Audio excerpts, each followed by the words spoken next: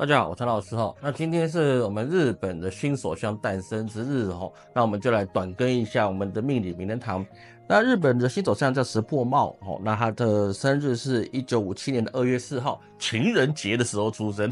代表他是很有情怀的总，哎，不是说总统，有首相，哎，对不对？那在石破茂他的整个格局来看呢，我们也看到是说哈，那他的一个。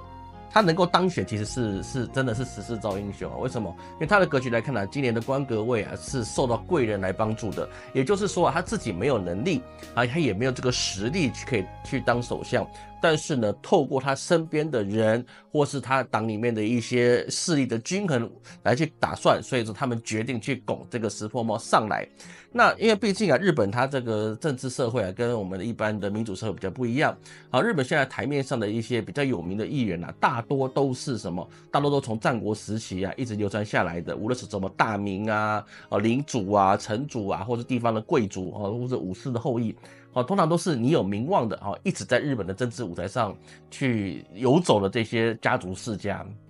所以说，日本现代政治啊，基本上你还是一个贵族政治哈。一般的人你要进去是不容易的，就算你这个你选上了，那你也不容易怎么样，你也不容易是往上爬，因为上面的位置是已经固定的。你顶多选一个乡下的议员可以，啊，议员他的收入又很低，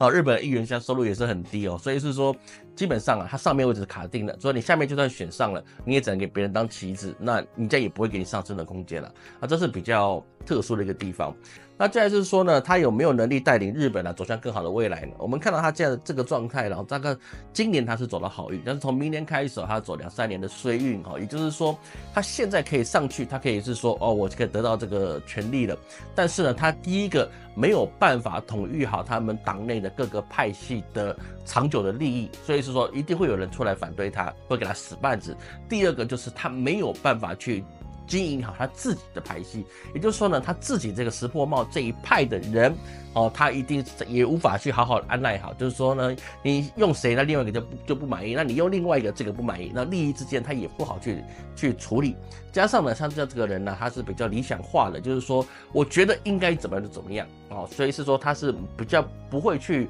属属于一种会负责的政治家，所以说啊，加上他过去啊，他是什么防卫大臣出身的啊，把把，当然他也有做过农林水产大臣啊，但是基本上他还是在防卫体系战略的。单位里面去做服务，所以说啊，他的一个概念就是什么呢？我负责想，但是做事你们去做。但是首相不一样，首相你不但要想，而且你要想办法找对的人去做。你不是说我提出了个建议，你可以做或不做。首相的装用途就是我可以想出来，而且我可以找到对的人去执行。然后呢，我必须要去用很多很多间接的方法来去完成一件事情。但是石破茂不行，他只能处理眼睛看得到的事情。而政治这个东西啊，是什么呢？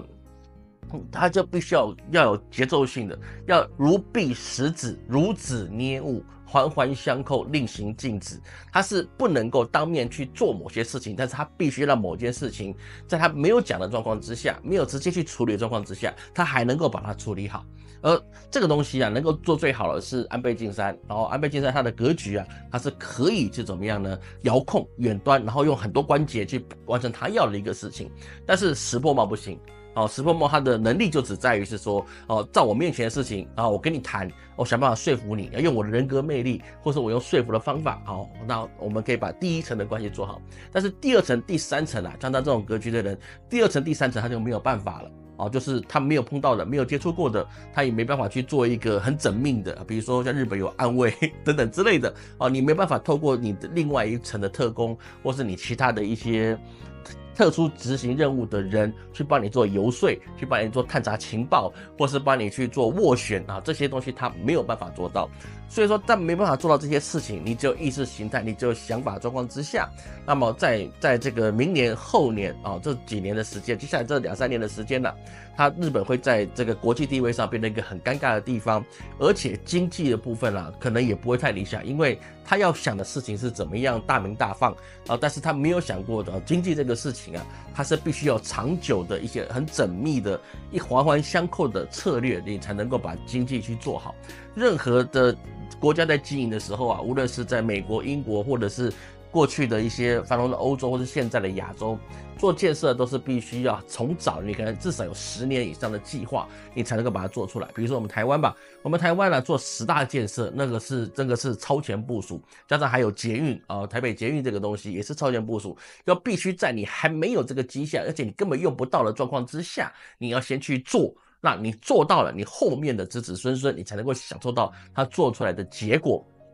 但是目前石破茂他本身是没有这个能力的，所以是说呢，在日本朋友，嗯，我们就好好观察吧，因为选出来的嘛，虽然不是你们直选的，但是选出来了，那就只能接受。那只能老师这边只能预测是说，在石破茂的领导之下，日本啊不要变得更差，就已经是天照大神的恩德。但是理论上它会变得越来越差的。那其他的事情啊，那我们周日再谈。那师资班的朋友哦，那可以在我们的师资班更新的课程里面呢，去看一下老师针对师资班里面同学所做的一个